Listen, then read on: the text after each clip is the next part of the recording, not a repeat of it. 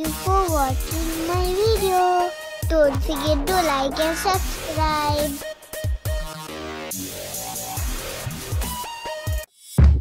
subscribe.